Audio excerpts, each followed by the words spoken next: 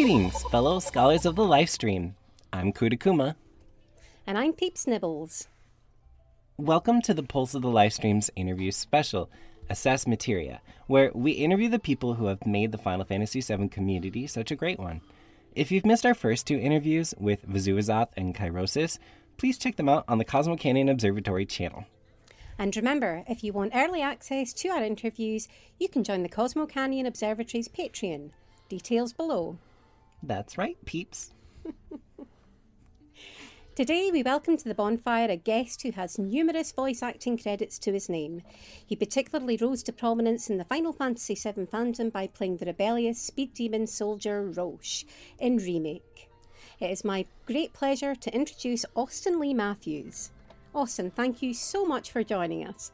How is life treating you? Thank you so much for having me. Life is going decently right now, actually. I'm taking uh, kind of a, a, a, rest weekend after uh, finishing up a, uh, a, a very much crunch week of production. ah, yeah, yeah. Well, we will get to that. Mm-hmm. Don't worry, we will talk about that. yeah, it's been a week, quite a week. Mm-hmm. I can mm-hmm. imagine. So, um, I guess we can just jump right into questions. yeah, I'm fine with that. cool. Okay. Um, so it's I mean it's fair to say that while Roche wasn't necessarily a major character like like Cloud or Barret or something, he quickly became a fan favorite. So how has the reception toward Roche and by extension towards you, uh, like how has that been for you? So nice. like seriously, everyone's been mm-hmm. so sweet. Like there, there no, no, there, I haven't mm. gotten any like like as far as I've seen, I haven't gotten any hate for my performance. I haven't gotten anybody who's disliked my performance as far as I've seen, which is good. I'm sure there's people who don't like the character, but like I haven't seen anybody like really bash on me personally. So that's that's been nice to see. Um cuz how often do you like go in and like read reviews and stuff? Like is that something that you like were focusing on, like trying to look for like reviews of your performance not, and not stuff? Not necessarily or, reviews of my um, performance, but like uh, in like the first week after the game released, I was in like the Roche tag on Twitter, like hard. Like I was just like I'm like I want to know, I want to know what people awesome. think about Roche. Like, like it's like there are people who were just like, eh, Roche is unnecessary, but then there were a lot of people who were just like, I love Roche, and there was a lot of fan art. Um, yes lots of people who just like like a, a big outpouring of love um, about the character and the performance that just really it made everything even better. Like it was already like an, an amazing experience getting to be a part of one of my favorite franchises just ever. Um, yeah. But the fan reception to that was also just phenomenal, absolutely delightful and a hundred percent. Oh, thank deserved. you. oh yeah, like, definitely. Yeah, no, I'm really glad that that that has been your experience because it. I mean, I love the character. He so, was so and I think you did fun. amazing. So, um, yeah, yeah, no, I, I, I, really like Roche too. For sure. I've got a bunch of Roche stickers on the back of my car. oh my god, that's great. So now you just got to get a motorcycle, though. Uh, that's oh, going to yeah. be my fiance's job. He's the one who wants a motorcycle, and I'm the one who is afraid that if I get on a motorcycle, I will fall off like in five seconds. Um, ah, so you get to be the Jesse in the yeah, situation. Yeah, you can play on like Jesse. Yeah, I, I get yeah. I get to have the. Uh, um, the, the the the the pointy breastplate and poke him in the back with it, and yeah, yep. yeah. Perfect. I imagine that was painful for Cloud. Just like like Jesse's just like like giving him a hug, and he's like, okay, whatever. And then she hugs him more and he goes, okay, that pierced the skin. Ow, ow, ow, ow, ow. he won't need to see a chiropractor for a mm-hmm. while. It's, it's fine. It all looks good. All so, you know, that's, that's what matters. Mm-hmm. But you, you have been really, really interactive with the yeah, community, which has been fantastic to um, see. Yeah, well, that's um, so you you you're looking at reviews, especially like the first week, and how about like when did you start like interacting with your fans and such like via Twitter and you have a Discord server. Um I've always been kind of interacting with fans like even before Roche was announced. Um but like the minute that they announced Roche there were people who were like like oh this is the guy this is the dude like what's the character like like what's what's going on like cuz they announced him like a couple weeks before the game dropped Um, hmm and there were people who were just like, "Oh my god, I'm so excited for this new character," and I'm just like, ah, "I hope you like him." Um, and the, it, it was it, it was it was really overwhelming. Like especially when the game actually like released, it was so overwhelming that I actually was just like, "Okay, I need to lay down for a minute." Because it's I'm like exhausted from the amount of people like I've, I was interacting with. It was at that point I'm just like, okay, I need to really like when big releases like this happen, I need to like interact a little bit and then take a break and then interact a little bit and then take a break. But then it gets to the point where after the hype it dies down, I can do like my my daily interactions that I do with my fans because I interact with my fans every day because Yeah. I, I, I have those daily um, Q and A's that I do that I, I haven't done a lot mhm. this week because I've been in crunch mode. Um, but um, I have I have those just because like I like talking to people. Like seriously, like Yeah. it, it gives me something to talk about that, you know, and uh, interacting with people in general. Like I've found that like even just like you know a casual like hey thanks like has made people's day like and Mhm. like that I know that how much it means to people. So I'm just like yeah I'll make time for people like why not like seriously It comes like- across as sorry, it comes across as very natural the way you interact with people that you're not doing it because you feel you have to in order to raise your profile, but you're doing it because you want to. You've got that genuine desire to get to know people. Oh yeah, I generally don't care how many followers I have. I just really enjoy like I have always enjoyed being a, a social person. Like I've I've been that way since since high school. Like in junior high I was starting to get there. Um but in high school I always like I just liked talking to people. I liked making people happy. I've always liked being that person. Hmm. Um and like, you know, I, I, I, I don't do it for me. I do it because I literally just enjoy making people happy. So yeah. Oh, so wholesome. Yeah. Yes. Well, I definitely know that everybody who you interact with definitely appreciates it. yeah. So hopefully it's not like super overwhelming. Like I can't even imagine like, especially like week of release, like what your phone notification was like. Yeah. like hopefully you turn notifications off. I, I, I, that first week was overwhelming because I ended up gaining like a thousand Twitter followers in the first two days of Oh. release, and I was, Two days. and, I, and I was just like, okay, ah, ah, hmm.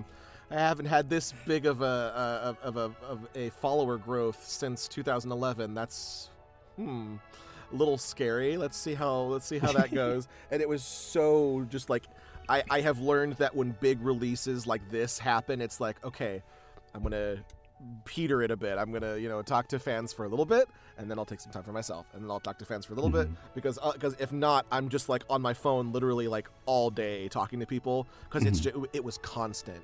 The notifications were were constant, and it got to the point where I was asking one of my voice actor friends, I'm like, "How do you do it?" And one of my voice actor friends was like, "I don't." that's how I do it. Is I don't do it. I'm like, "Oh, well, that's not going to work for me." So, I, I watched the KupoCon event um, Hmm. a couple of weeks ago, and I think was it Mallory Lowe who said something very similar that she woke up in the morning and suddenly had all these Twitter followers. And yes. Where the hell have these all come from? yeah, we, we, we were all like sending people to Mallory, like w- like whenever I I, I uh, they, they, whenever they, they talk about like oh thank you for all the followers and all that, I'm just like give them more followers, like like like every time like I'm I'm just like give them your love, you. they made you happy, now give them your happiness. Yeah, I absolutely. I, I yeah, the whole cast is fantastic, and I loved seeing them them grow in popularity more and more because they're all just phenomenal.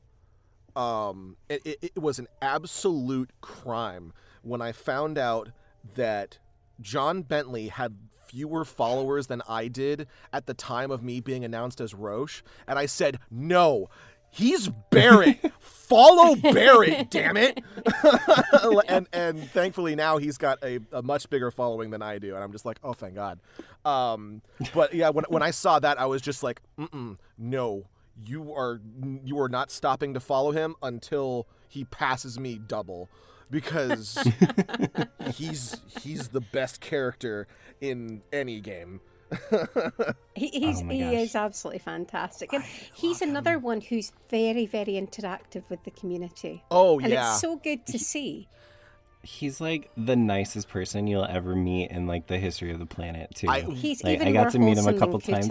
I 100% agree. We we ended up we actually met for lunch, um, uh, like a while ago, and we we, we we met for lunch, and he was just just immediate. Big Mhm. dad friendly energy, Yep. just like comes up to you and he, he just goes, There's that guy. And you go up and he just immediately goes in for the hug and just, oh my gosh. Yep. He's just so delightful. Just uh, like the entire time uh, I was while we were having lunch, I just had the biggest smile on my face because he gives off just the most just just the most positive energy out of Mhm. It's contagious. it really Yeah. is. It seriously is. And he was just so excited because we were um, hanging with the guys um, from Crashing Game Night, and they were they were talking for they were just like talking just about life. Like he's like he was like he was just like, hey, uh, so like what's going on with you know whatever life thing was going on, and they're just like, oh, you're talking asking about that, all right, like you know like legitimately interested in talking to them, and then Mhm. uh, they're just like, hey, so, uh, and then they they put they pulled out their uh, their Final Fantasy trading cards, and he's just like, they finally released Barret, and then and he's like, yeah, and he's just like, awesome, and immediately he was like looking at him, he's like, oh, that's cool. He's like, where do you want me to sign it? Aw. That's so awesome. yeah, it was it was the he, he he gets so he gets so into it. He like he he loves Barret like as much as we do. Um oh god, there was another um and it, it was another interview that we did together where it was like the day that they announced the Barret Mii costume in Super Smash Brothers uh Ultimate Yes. and he like like uh, the guys were just like, yeah. So, um, what was your reaction to seeing Barret in uh, in, in Smash? And he was just like, Barret's not in Smash. And they go, no, Barret's in Smash. And he looks at it. He goes. He's a V costume. Oh, and he like immediately calls his wife over. He goes, "Honey, honey, you know that game the kids play? Barret's in it now." and it was just so, just like, like, oh my gosh, this man is lovely. Oh, He's so such a delight. I love him so much. oh he That's sounds amazing. fantastic. Mhm. Well, I will say that you give off very similar energy. Mm. So we haven't met in Thank person, you. but I absolutely feel the same talking to you. Thank you Yeah, I very haven't much. stopped smiling since this interview started. So. good, good. Playing Roche wasn't your first role in a Final Fantasy related game, though, was it? Uh, no, it was not. I was uh, Cid in Chocobo's Mystery Dungeon Every Buddy, which is another one of my favorite cute. roles. I love that game. It's so cute. I have played through most of it, but the last dungeon was really hard, so I paused it and haven't picked it back up. Um, but it's so cute. It was my first mystery dungeon game that I ever played. I hadn't played a game in that format before. Um, and getting to be a part of that and seeing that really sweet, touching story unfold was just delightful. Um, and the the music is all lovely. A lot of it is like um, different remixes of other Final Fantasy stuff. Cid's theme is actually a an arrangement of oh gosh, what is the name of the song? It's the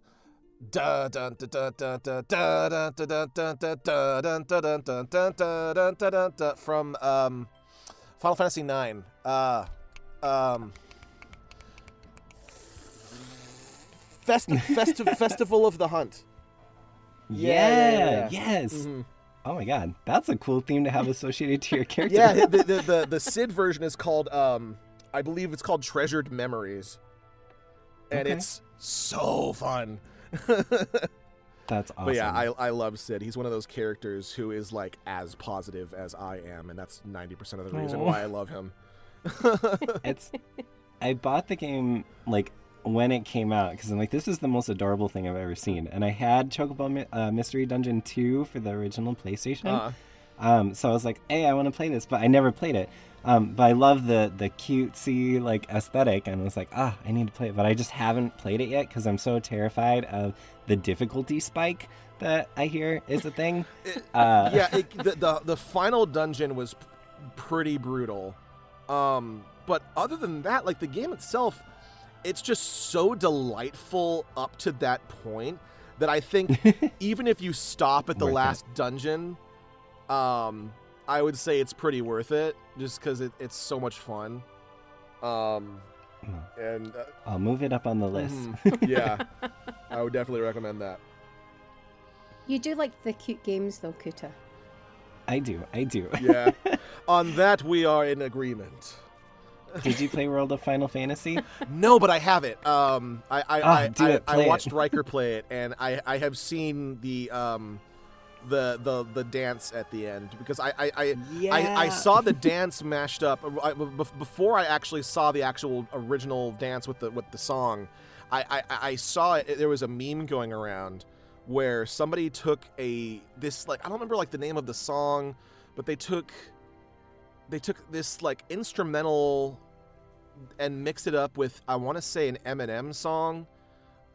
Um, and it was them just dancing, and it was two to the one, from the one to the three. I like blue, blue, blue, and I like good trees. Smoke so much weed you wouldn't believe that. what I got. Yeah, it, it, it, it's there was a meme that was going around, and whenever when, when I saw that, the first iteration of the meme that I saw was with the Final Fantasy characters dancing, and it synced up with the song so well that I thought that the video had been made for that. Oh, Um, my gosh. and then I found out later, I'm like, oh, that's World of Final Fantasy. Oh, I'm gonna have to play this game because that was delightful. Um, and I and I've seen um, the uh, the special moves like uh, the uh, the dolphin blow and Omni Slash and uh, um, Mhm, whatever uh, Gilgamesh does.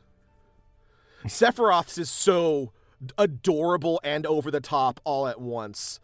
It's great. It's I so don't good. have Pretty. Sephiroth. I'm so bitter about this. I don't know how to get him. I even bought the DLC and I still don't have Sephiroth. Grr. I I, I I'm pretty sure it was a pre-order bonus. I have Sephiroth, but I but but but, but that's only in physical form. I actually I have I have a couple of figurines from World of Final Fantasy. I I I, Oh I, I have uh, Lightning and I have Sephiroth. I got him in a blind box, and when I got Sephiroth, I was just like, yes, because that was like the week after I booked Roche. And I'm just like, Oh my god! perfect, perfect. timing. so he's up with my Final Fantasy collection. Case full of my collectibles, and the whole top shelf is just Final Fantasy and Final Fantasy VII stuff. Mostly Final Fantasy VII. Um, What's your favorite piece in there? um, a magic materia, um, the green materia, Mhm. um, that I got from KupoCon. Yeah. Um, and I also um, I have a um, a cover. Um, I guess I guess I guess a box that it's the Final Fantasy VII remake box, but it's got a custom cover. It's this gorgeous, gorgeous painting Yes. of Cloud, and it's that iconic. It's that iconic shot with him looking up at the at Mako Reactor One, and it's so beautiful. Mhm. And that uh, it, that is the prized, prized like centerpiece of that whole thing. It's beautiful. I, I got one because I went to one of the KupoCon launch parties. Nice. So I got one of those too. So I definitely know exactly what you're talking The about. The weirdest item on that shelf. Um, well, Ooh, that's a the good one. second weirdest is I have two bottles of the uh, the Chocobo orange soda that they released. I think with Final Fantasy 15. So we we kind of talked about it. You you mentioned your radio show. Um so I'd love to kind of like dive a little bit more into that because Okay. that's super super exciting. So obviously um you know all about it. It's called Megaton Girl and it's about uh, or well you describe it as about love and superheroes. Yes, So, that's um, that's what it's about. Yeah, good. that's uh, I mean that already in and of itself sells it to me, um, for me. But for people who haven't heard about it, um, can you give me maybe a little bit more um, of a teaser of kind of like what it what it's about, and then we can certainly link them down below or wherever they're listening. We'll include a link so you can uh, check out the first the first two episodes are available now, and the third one is on its way. The third one actually just released on Patreon at eight o'clock this morning. Oh wow! Well, there it is. Yes, and it, it'll it'll be up publicly next uh, next Saturday. Well, wh- wh- whenever we record this, it's uh, uh, Saturday, May eighth is when it's going to go up uh, publicly. Perfect. Um, but yeah, I I've actually started describing uh, Megaton Girl as the story about a superhero and the woman that loves her. Um, and it is basically it is about um, two best friends who have to deal with um, a superhero named Captain Valiant, who is just uh, just a. Can I swear? Of course. Sure. okay. He is just a major asshole. Um, he he abuses his power consistently. He's a horrible womanizer. He is every convention horror story that you've ever heard wrapped into one person. Um, and he he just somebody who should not and does not deserve to be a superhero. Um, and they you also did a have very deal... good job of making him absolutely loathsome, I have to Oh, say. oh, wait until you hear episode three. Oh, you're you're you're you're gonna if if you hate him now, you're gonna ha- you're gonna really hate him over the course of the next three episodes. Oh boy. That's, Um, that's like a really good character, but Yeah. also like a terrible one. Like so, like they're so terrible that it's like, oh, so good though. he, he he's one of those slime balls that you just yep, you, you hate to be around him, but you love to hate him. Yep, yep. Um, and the actor who plays him, uh, uh, PM Seymour, just absolutely owns every scene. Because my direction to him was he's a cross between Patrick Warburton and the asshole narrator Bruce Campbell from the Spider-Man 2 game. Um, and that that is 100% his personality. Just the oh yeah, sure, you can do that if you want, loser. like you know, like that kind of vibe. I get Um, really strong um, Captain Hammer from Doctor Horrible Sing Along blog. Like, yeah, a little bit. Yeah, yeah, yeah, yeah, yeah. Um, I- that that uh, actually, Doctor Horrible, I I think inspired me a lot more than a lot of actual like like m- like more well known comic book movies have. oh, it's so good. It's fantastic. Like Megaton Girl is obviously a lot more uplifting Yes, than, yeah. uh, than Doctor Horrible is because Doctor Horrible is uh, depressing. Um, but yeah, no, he's he's he's got um m- different kind of loathsome than Yeah. Captain Hammer. Like Captain Hammer, like you know, he's just he's just arrogant, um, and just you know he's a jerk. But Mhm. Captain Valiant is like ten different levels of jerk Yeah. above that. He's not just you know, you know a womanizing bastard. He's also you know he's corrupt. He uses his power um, for just you know horrible reasons. He's uh, he you'll find out some stuff about Chuck in the next couple episodes that'll make you just go, why is he a superhero? um, and actually, in episode three, if you listen, you'll go, oh.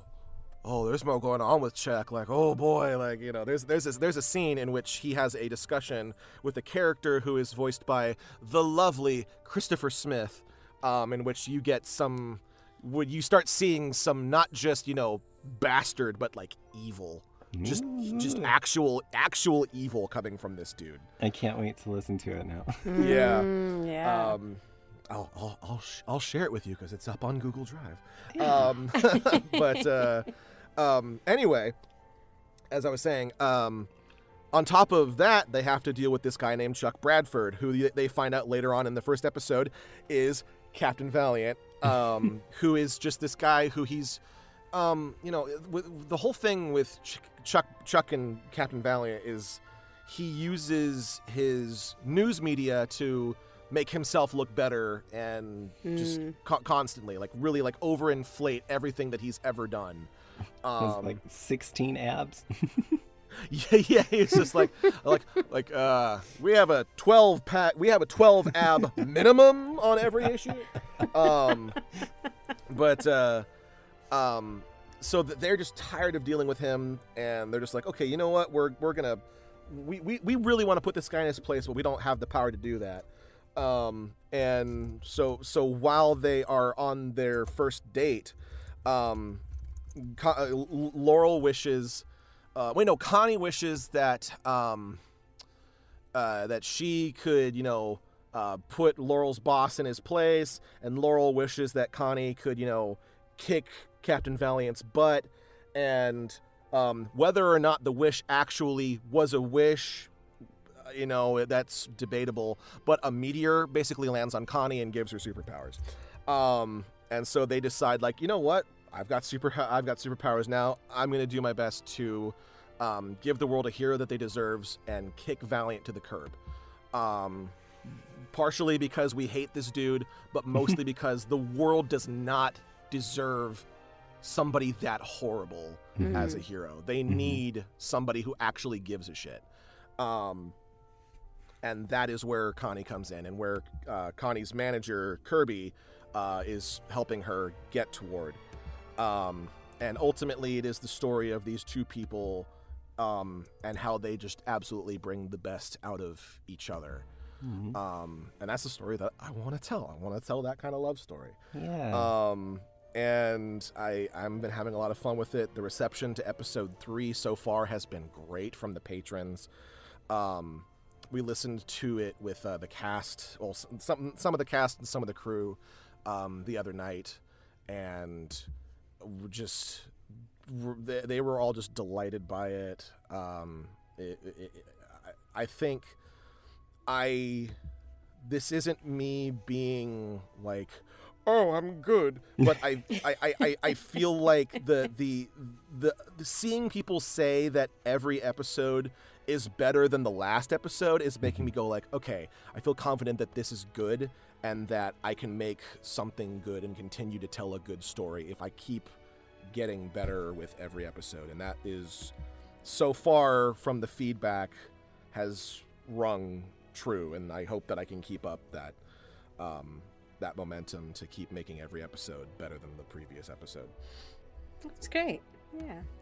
I mm. haven't actually, obviously, I haven't seen episode three yet. Looking forward to it. Uh, I thoroughly enjoyed episode one. I didn't, I didn't know if I would because it's not my usual kind of thing. Um, but I just, I, it was so, it was really engaging. It was Thank a you. good story. The characters were good. The acting was good. Mm-hmm. It was really, really enjoyable. Thank you. Yeah, the, the characters are really what what really drives the story, and the cast is all phenomenal. Like this, the characters would not be as enjoyable as they are without the amazing cast that we've got. Um, and Amanda, who is our lead, um, she just every episode just knocks it out of the park. So Michelle, who plays her girlfriend Laurel, um, is also just phenomenal, and who like in episode three and like every episode so far, but especially episode three, has some just spectacular moments where you really feel like her insecurities shine, and as she overcomes them, um, you really are just like, yeah, yeah, you got this. And Michelle just absolutely just, mm, just dominates it. It's, it's a really, really good thing to show because I think with a lot of media, with, with superheroes, then, you know, they're always these perfect characters. But I want to see the, the fallible ones, the people who have this thrust upon them and they have other things to deal with as well. It's not just about their superpowers, they've got all the other crap that life throws at you. Yeah, exactly. Um, and while Connie has the benefit of being able to focus a lot on the hero stuff, like her life isn't just that.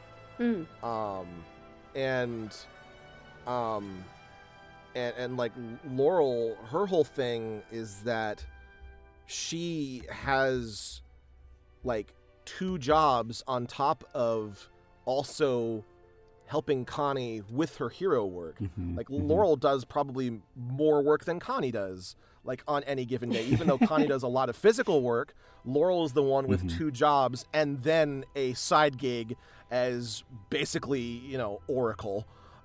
um, for, for, all you, for all you Batman fans out there, um, uh, but um, like L- Laurel puts in so much so much work um and like she, they are both equally important to the team um which is great and fitting because mm-hmm. they're both equally important to each other um Yeah. And I think that people are really going to enjoy seeing their relationship grow and seeing Laurel get more and more confident and seeing Connie overcome obstacles that are in her way and seeing her grow as a hero, especially in the episode 4 which is coming out I ho- hopefully hopefully by June. Um, oh, that's fast. but uh, Mhm. yeah, uh, uh, episode four is going to really. We, we've we've seen them begin their journey, and episode four is really going to be where we start to see um, them get really put through their paces in terms of like actually like the struggle that comes with being a hero. And episode five is where, well, you'll see what happens in episode five. Um, but yeah, I, I'm I'm very much looking forward to um, seeing people's reaction to what is to come in the in this particular arc. I'm excited. Yep, yeah. The relationship between Connie and Laurel is, is quite pivotal to the story, though, isn't it? It's uh, it's Yes. really great positive representation of a of a loving couple. Hmm. Yeah, and that is wholly drawn from like my own ex- my, my, my own experience with my fiance, who he is extremely just supportive of me constantly. And there are so many times where he and I will be listening to an episode, and Connie and Laurel will have a conversation, and he'll just say, "Is is, is this just us?" um, and I'm just like, a little bit. Um, but uh, yeah, like uh, the inspiration. I mean, the, I mean the, the, the, the representation in this show really comes from me wanting to see my friends get representation that they don't normally get. Um, because like I mean, point to a pansexual superhero that isn't Deadpool. Yeah. Like, like seriously, um, and, and I should I should say a positive superhero representation is Deadpool. I wouldn't consider like he's he's pan representation, but I wouldn't exactly call him a positive pan representation because he's yeah. um, but uh, I really wanted to see that because I mean like I don't have a bunch of superheroes that I can look up to. Like I mean, like I, I, I, I have some that I do, but none that I can really like see myself in. Yeah. Like there's no there's there's not a fan a fat pansexual superhero out there. um, and that's what I wanted. Um, and that's what Connie is. And um, and then th- there there there are other like there, there's a superhero who shows up in episode three whose name is uh, Lightsmith and Shadow Thing. They are a superhero with dissociative identity disorder, and we have a member of our crew who has dissociative identity disorder and I I had written this character after the movie Split was released because that movie for me was the straw that broke the camel's back. I was so sick and tired of seeing just constantly dissociative identity being portrayed as a villainous trait Mm. when it is not. It is a mental disorder that people can't help. And generally, people who write stories where someone with dissociative identity disorder is the villain generally don't understand dissociative identity disorder at all. Um, which is why the entire time I've been working on episode three, I was talking to my friend who has dissociative identity disorder and like saying like, hey, like you know, like what would happen with this? What would happen with this? Like, do you ever like have actual conversations with yourself? Um, and there there were moments where like like yeah like sometimes they will like have like not just a conversation like internally but like sometimes they'll just forget that they're like not alone and have an actual verbal conversation with themselves.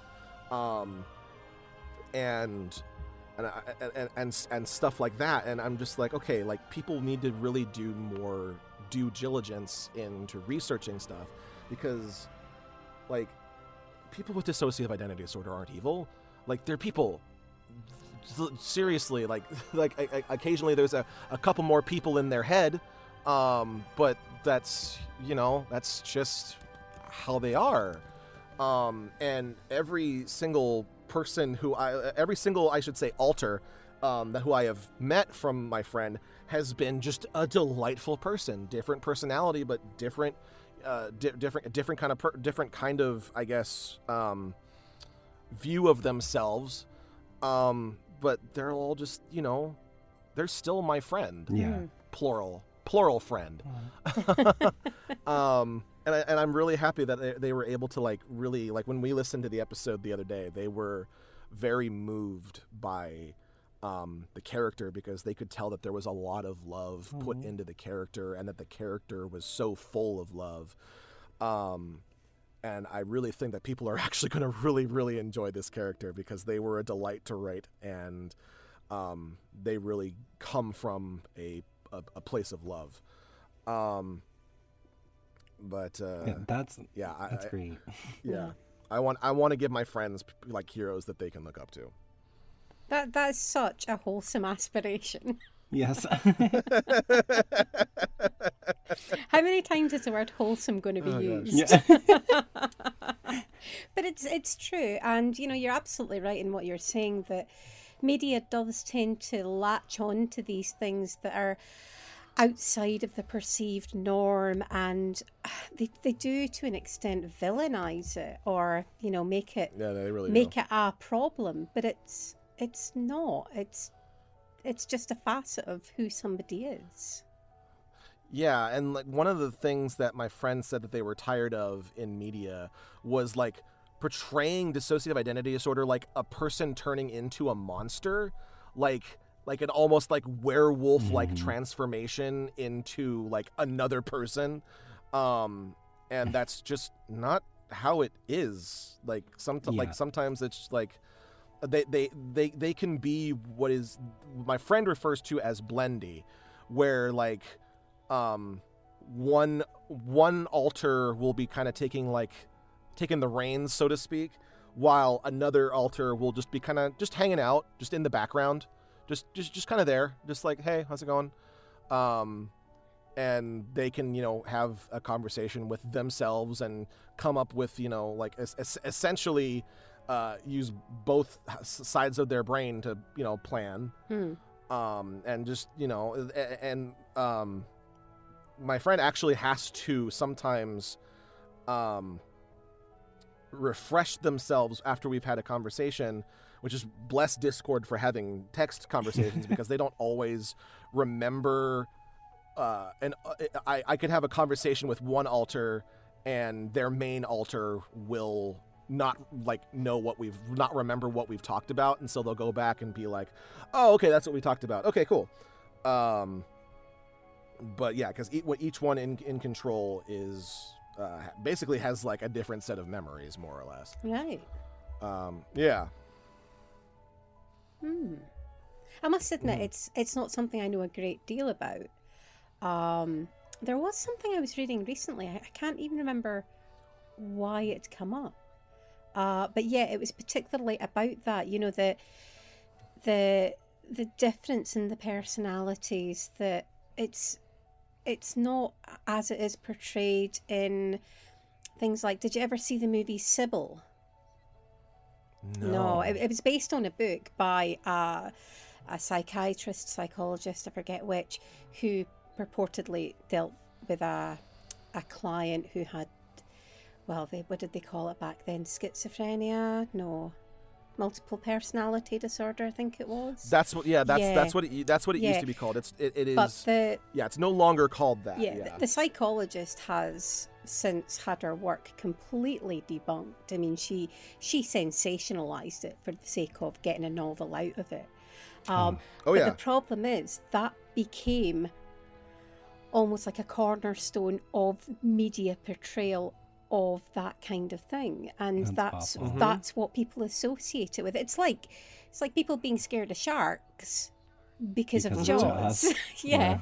it's Yeah, that same absolutely. sort of you know that that idea has been implanted, and it's very very difficult to shift. yeah, it re- and it really is. And I want to, like, I want to at least be able to show that, hey, no, they're literally just people like you and me. Yeah. You know, it's just occasionally, well, not not occasionally, but uh, there's just you know there happens to be more than one person in there. hmm um, and I, I, like I said, I've I've made friends with several several of their alters, um, and there's the the most common one uh, refers to himself as their their their older brother, basically.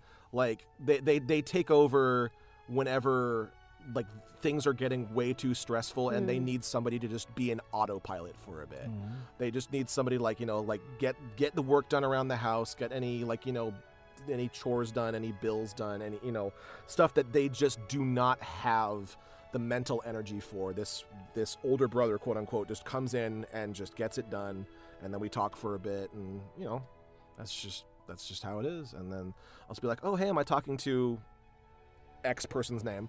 Um, and the, and they'll go like, "Oh yeah, it's me," and I'll just go, "Okay, cool, cool, cool."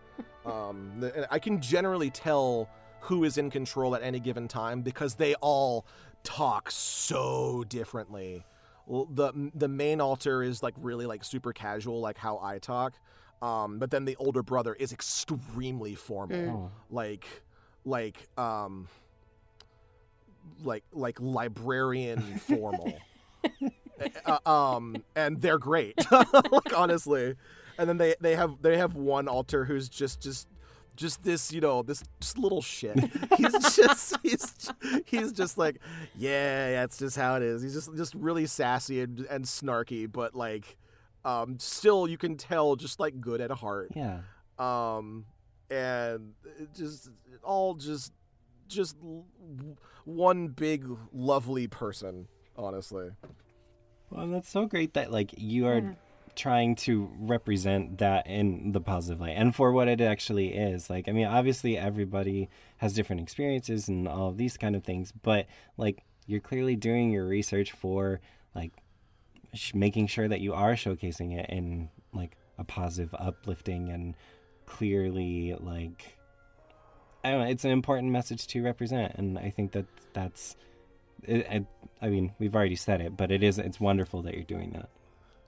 yeah and it wasn't necessarily super easy to do it either No. not because like not because it was a difficult for me to like understand but it was it was difficult for me to integrate it in a very natural way Mhm. in a way that I didn't have to basically explain what it was Mm. because the, the the actual explanation of the character because there is a, there is a moment where I, we have to like you know address the um the elephant in the room and like be like okay like you know how am I gonna introduce that this is one person with three different personalities and two of those personalities have different superpowers?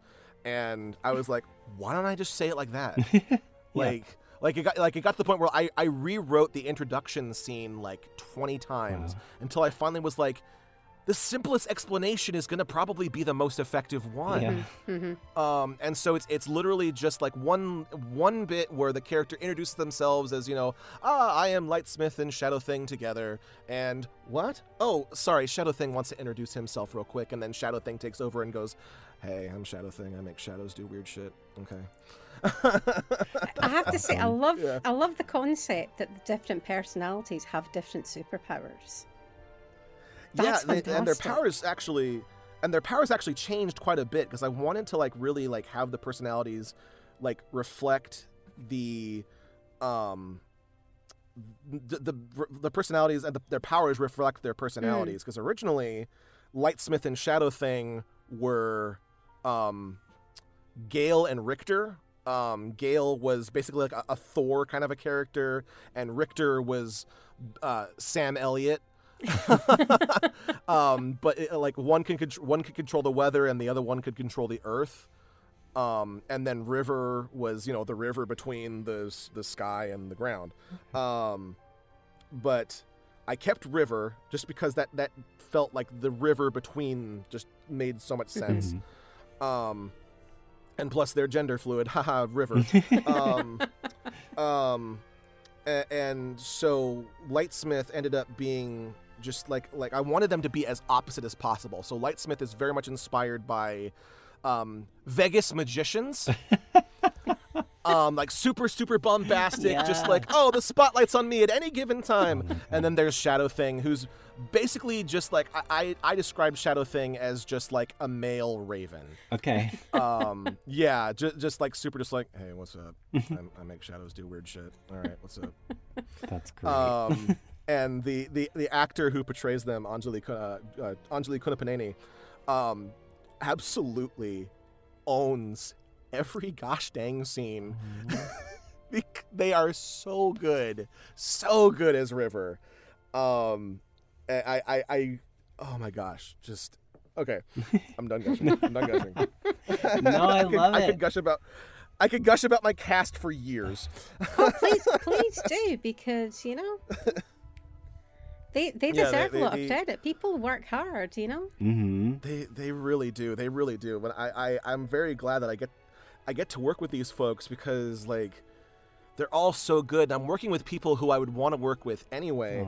Um, and I actually I, I, I was introduced to Anjali because of Megaton Girl because uh, we were originally going to have another actor playing River, um, but they had to drop out because U.S. immigration is being horrible to them right Mm. Oh now God. um, and so they weren't going to be able to have their own recording space for at least two weeks. And I'm like, the episode's supposed to be out in two weeks, and so I, I, I, so I put out a call for um, non-binary I actors, saw that. and and Anjali was just like, I'll do it, and so I listened to their demo, um, and it was just like, oh, I, I think that's River um, and just absolutely just just floored me with their performance.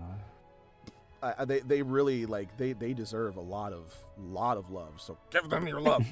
um, but then uh, we've also got you know we've got Amanda who plays Connie, another actress who needs just a lot more a lot more attention that she gets. She's um Vivi in the Mystery Skulls animated uh, uh, most recent video with me. Um, and then there's Michelle, who's another um, lesser known um, lesser known actress who just oh my gosh, uh, she portrays Laurel in just such a a sweet, Mhm. caring way, and also while also having her like bigger moments because she doesn't have a lot of like like loud I get excited moments, but she does have those those moments where she um she is the, the, the character is autistic and her special interest is superheroes um and so she gets really enthusiastic about superheroes um and she she really portrays that really well um and then we've got jason who is megatron in transformers so it's really funny that we've got megatron man who is helping Mega Megaton Girl uh, being, you know, a superhero. That was completely unintentional. I just I met Jason and was just like, I think I found Kirby because we we we'd, we'd been looking for Kirby for a long time because like a, like we had another actor who I I wanted to play him, uh, but the actor had to leave the project to work on other things Mhm. and he just didn't have the time for it. And so I'm just like, oh man, I don't know who's gonna be Kirby. And I, uh, as soon as I met Jason, I'm just like, that's that's my guy. that's my guy right there. Aw. Um, we've got, uh, um, oh gosh, we've got Danielle McRae, who is also in Final Fantasy Yeah. VII Remake Yeah. as Gwen. Um, and this is another- another longtime friend and a delight. Um, and then we've got Mark Allen Jr., who is getting pretty big in anime recently. Um, he's Ren Kouha in Magi. Um, he's Makino in The Ones Within. He is my dearest, dearest, dearest, oldest voiceover friend. Um, and he he's he's Wrangler, uh, who is Danielle's character's husband, um, and he's also become, um, as he describes it, the, the as he described it yesterday, our shadow producer, um, uh, who has he he was a big part of how we were able to get episode three out so quickly, um, because he's really helped with that. Um, then we've got uh, Christopher Smith, who is my favorite character in Gurren Lagann, Kittan. Um, and he also Emperor in Dissidia Final Fantasy. Oh. Um, and he plays a character who, um, well, you'll you'll see. he, he he plays a character that we may have name dropped at least once in the series. Oh. Um, and then we've got uh, Alex Weitzman, um, who voices Moishi Edelstein, who is the crew's favorite character. we all love Moishi. He's basically just that. He is this. Um, he's this old man he, he, he, who runs a Jewish delicatessen, and he's Kirby's oldest friend. And he is just so sweet and so kind and so just like, hey, yeah, come on in and have fun and sit down and I'll take care of you. Like one of those just super, just like, you know, loves everybody and wants everybody to feel comfortable and happy kind of characters. Polar opposite of Kirby. uh, like seriously, like Kirby is just this grumpy curmudgeon, and, and you you wonder how these two could possibly be friends until you see them talking to each other, and you're like, oh, that's why because they they like like Moishi makes Kirby happy and Moishi loves making Kirby happy. Like they're just dear dear dear friends who have been friends for like 60 years. um the best and friendships. and then we've got Tiana Camacho who's another just wonderful wonderful actress um, who is playing a character who we talked about in episode 2 whose name is Nora. Um, and there are people who have kind of started to figure out who Nora is. Um, they've started putting the pieces together, and I'm very delighted to confirm whether or not they're right. Because I, I was I was having a live stream, and somebody like as soon as soon as Kirby said something to Nora, somebody in the chat was just like, "Wait, what? What did he say to her? what? Hold up, who's Nora?" but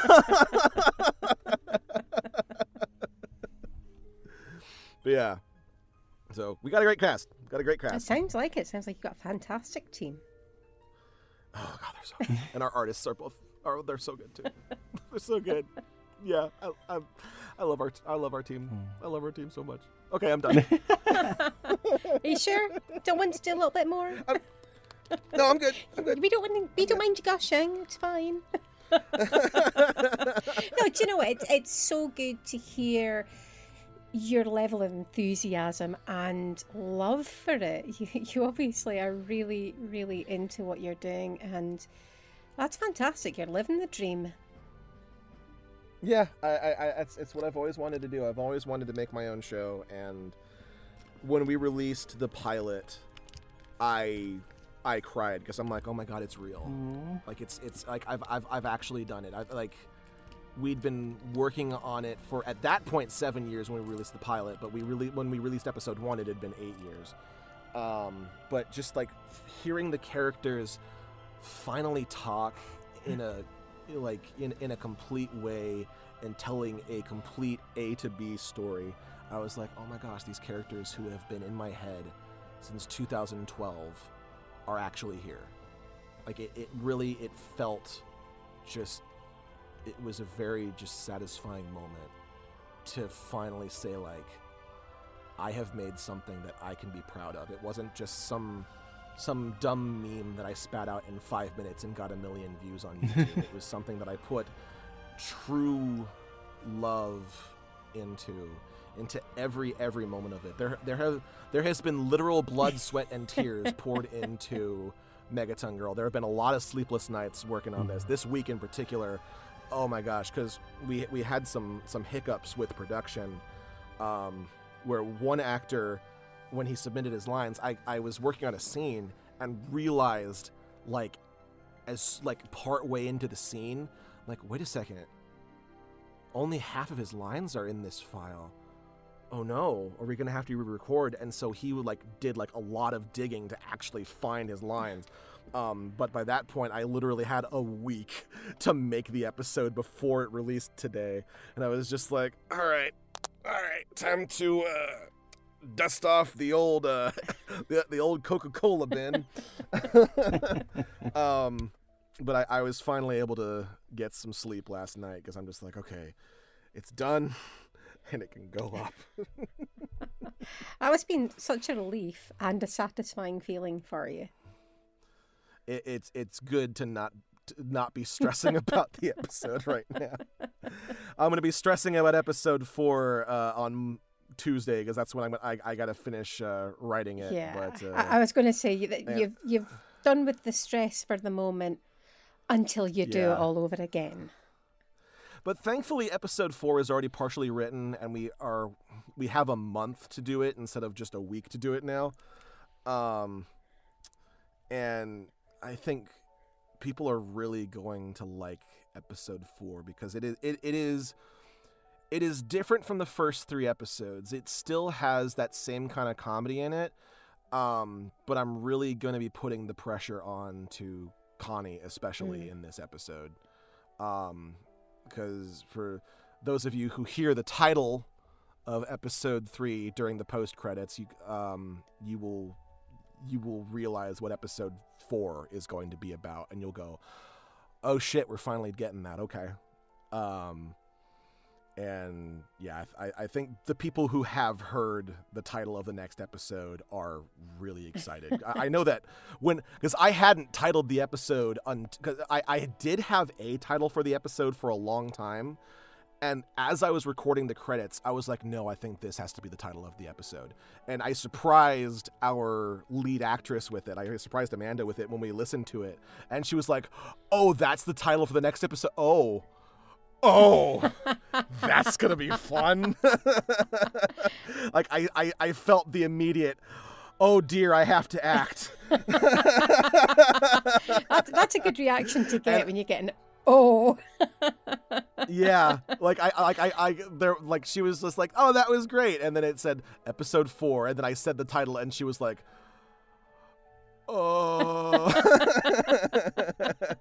yeah I imagine obviously COVID threw a huge wrench in your convention plans and ability to do stuff uh, like when yeah. it came out. How like I don't know, I feel like like uh, I don't know. I don't want to like drag down the mood or anything, but like, how do you deal with that? Like, I feel like that was such hype and like, like, and then just just kind of like have that taken away from you. Like, what did you do to counter that? Or like, do you still have the hype to do more now, even though it's a year out? Oh my god. Yeah, I, I, I definitely, I, I definitely want to do do conventions. I, I, I. I, I hope that people are still hype enough about Seven remake um, well, we are. I can that I that I can that I, that I can do lots of conventions because like last last year I had been planning on doing like several conventions. I'd reached out to a bunch of conventions like you know or like like like just like hey like before like I even like you know I hadn't talked about Roche, but I was like talking to like other conventions about um tra- like Trails of Cold Steel and stuff like that, and um and I was I was like um and then once Final Fantasy VII drops, like more conventions are going to be interested. Um, but then I had a convention like cancel on me like as soon as like quarantine hit, and it was like crap. Um, and then every other convention went virtual and had to like some of them had to like limit the amount of guests that they had.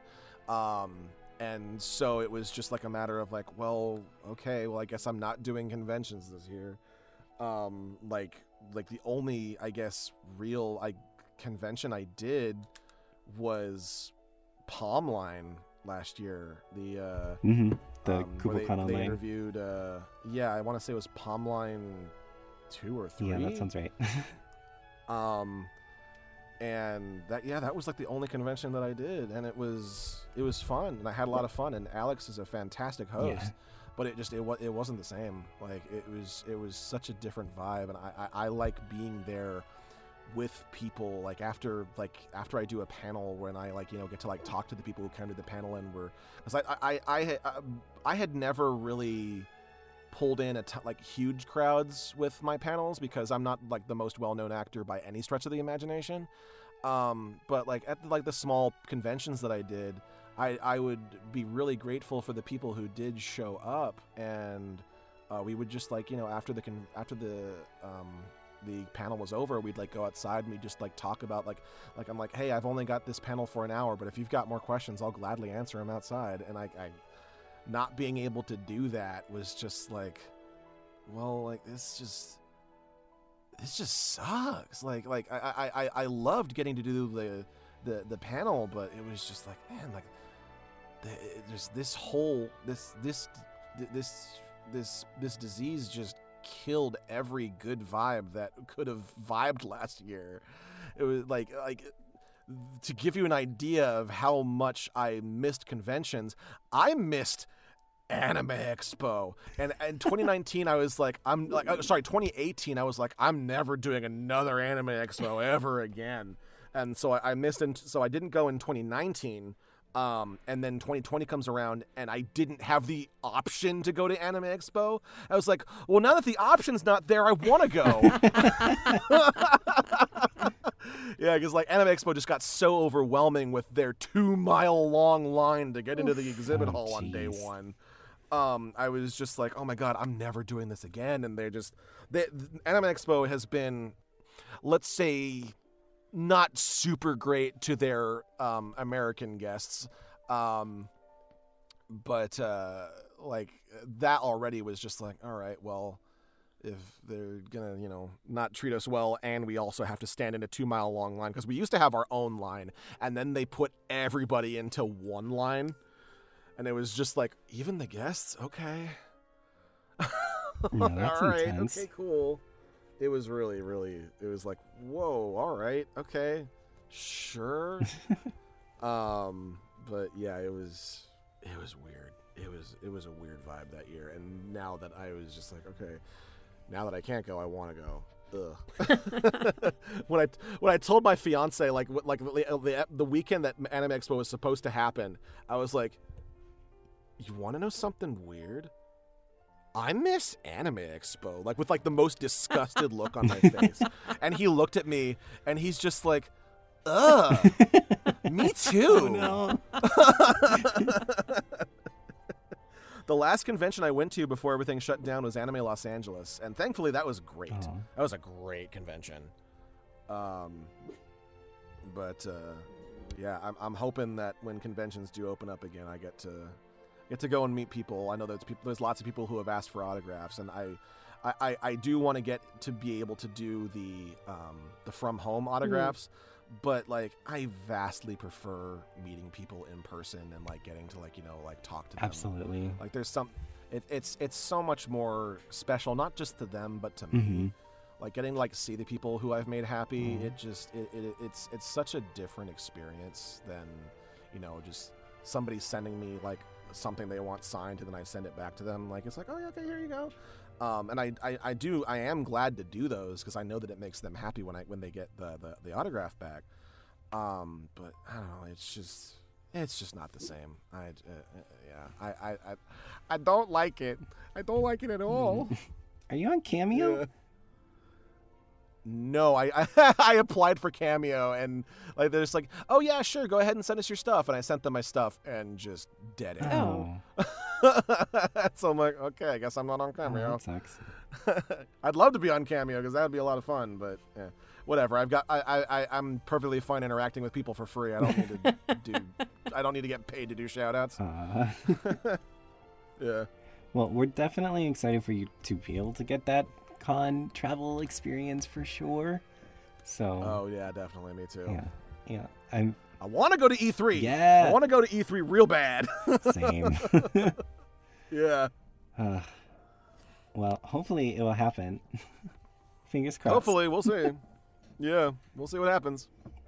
so I guess talking about like like fan stuff and conventions and convention halls and walking around and seeing all the cool things and all of the stuff that we miss. Um, you kind of get to do that a little bit through social media, kind of like with your fan interactions and stuff. I do think you do Oh, a great job doing all that kind of stuff um, and interacting. Well, thank and you. Awesome. Um, but one of the other things that comes along with social media is fan art. And we have, I know that we've talked a little bit before about it, but you have a whole fan art like collection, and I'd love for you to uh, talk about it. I, I yeah, I, I collect basically every piece of fan art that I get. Like especially if it gets sent directly to me, I'm just like, that's going in the folder. I've I've I've I've to give you an idea, I have a, a, a folder of um of fan art um that it's it's generally stuff that's been sent to me and stuff, but also stuff that I've just like found, and that folder has 1,206 pictures in it. And to give you an idea of the volume of Roche pictures that I have, of that same album, 516 of them are of Roche. Wow. so th- that is almost half. Oh, and of that same folder, uh, it looks like 97 of them are Megaton Girl. So that's not. Hey. hmm that number There's- will build exponentially soon here too. I imagine. That number blows my mind already. I know. That, I'm just like, there's almost a hundred pieces of Megaton Girl art, and and it, it, it's not like well known at all. It's just the the people who do it, just they just the Megaton Girl does not have a big fandom, but the fandom that it's got, real goddamn dedicated. That's awesome. Like they're, they're the people who lo- people who love Megaton Girl love Megaton Girl. I got I got my first fan fiction me- of Megaton Girl last year, and it is it's adorable as hell. That's great. it's so That's how you know you made it. Yeah. What uh what is your uh your um head canon and ship status for for Roche, sir? I have shipped, uh, well, as we have come to call it, Rowdy Boys, um, since the day I started recording. Um, because, oh my gosh, uh, just like I have got the biggest crush on Cloud. Um, and you can 120% hear that in my performance. um, and, and just like the whole time I'm, I'm listening to like like the, the the Japanese and reading the script, I'm just like, oh my god, like this is coming off as like flirting, and and and s- like I'm I'm just like, yeah, I I there's there's no way that I can't ship this. yes. it was I was I was just like, oh my gosh, like this is like I, like this like I, I I don't know what the writers intended, but this man is in love. He's in love with a man whose name he doesn't know. Well, you know who can blame him? True. I know, right? I think that's funny that he just immediately is just enthralled with Cloud and calls him his friend, and he never bothers to ask his name. That's a tr- that's a good point. He, he's he's great at announcing his own name, but I would and, and actually I would say that that makes uh, uh, Roche the more honorable of the two because he's like I am Roche, prepare to fight. That's a really like But I hadn't even really stopped to think about that. That's crazy. That Yeah. yeah. yeah, he- doesn't even know his that's name. insane. Well, hopefully he'll find out one day. Yeah, I I, I, I, I I hope that one day Roche shall learn this this lovely gentleman's name. And perhaps a little bit more. Ooh. Uh, yeah, I, I, I, I, I, I, I yearn for that third dance. Yeah. I think it's fair to say that the audience do too. yes. yeah, they do. Yeah, they do.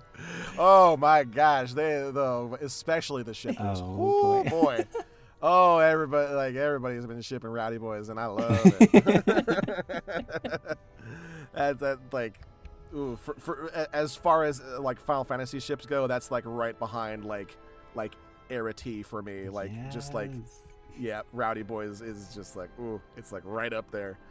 Um, gosh, there's so many, so many ships that when I see them on my timeline, I'm just like, hell yeah, dude. so like, so, some somebody recently was just like, what's like a what, what's what's a ship that like you like like nobody ever talks about, and I immediately just like like was just like Barret and Cloud, and everyone was just like, your brain is huge. Oh my god. Mhm. I, I I could see it. Yeah? Oh yeah, I can definitely see it. Oh my gosh, That's and I, I love Barret. He's an, he's another character, that- especially in the remake. That like I I already liked Barret, but like the the remake elevated him to like top five all time favorite Mm. character status. yes. Mm. John Bentley it's is like so good. it's it it's Po from Kung Fu Panda and then Barret Wallace. that's, a, that's a great mix. Yeah. uh huh. Thank you for listening to part one of the Pulse of the Lifestream's Assess Materia interview with Austin Lee Matthews. If you haven't already, ring the bell and subscribe below. Not only will this keep you informed when part 2 of our amazing interview with Austin Lee Matthews goes live, but you'll also get notified when Vyzz's top tier analysis videos go up as well. If you want early access to the Pulse of the Lifestream Assess Materia interviews, plus exclusive additional interview content, please consider subscribing to the Cosmo Canyon Observatory Patreon page or the Cosmo Canyon Observatory Subscribe Star. Links below. Thanks for watching. We'll be back with more updates as they happen, so stay tuned. Stay safe and take care. Pulse of the Lifestream signing off.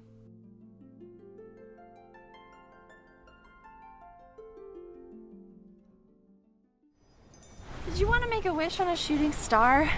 I mean, we've got plenty to choose from.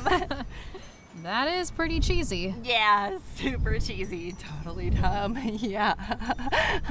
yeah. You first.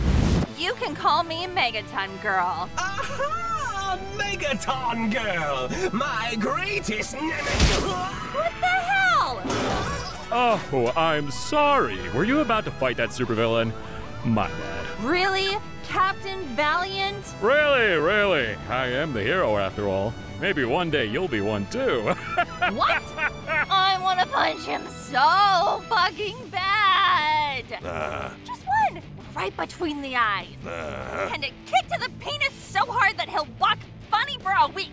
If I can't go mano a mano with Valiant, then I'll just have to be a better hero than him. So let's drive him out of town and give the city a better hero in the process. are you ready for that responsibility? No, but I don't think I have a choice. Somebody's gotta do something about this guy, and it might as well be me. I want you to die a lot. Want to be enemies for life? But with the whole returning the planet to an insectoid paradise and all that. Insecticide what now? Oh, right, supervillain. No! Shit! Okay, if you've downgraded from fuck to shit, then you're okay enough to get up. Get in here. Don't what? Eat the hell hoagie. Eat the hell hoagie. Well, if you insist. No! I thought I added homing missiles. No, I wrote it on a on a sticky note and put it on the fridge. Rah! That's you. That's what you sound like. Evie, you big dumb mother. You can fucking fly. I am riding in the giant lady's hand with my girlfriend, Kirby. You know, hun, we make a good team. Fuck yeah, we do. Mwah. Woohoo! Megaton Girl, a story about love and superheroes. Available now wherever you download podcasts.